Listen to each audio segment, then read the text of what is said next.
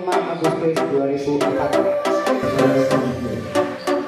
ini dan seperti itu Kristus Karena Kristus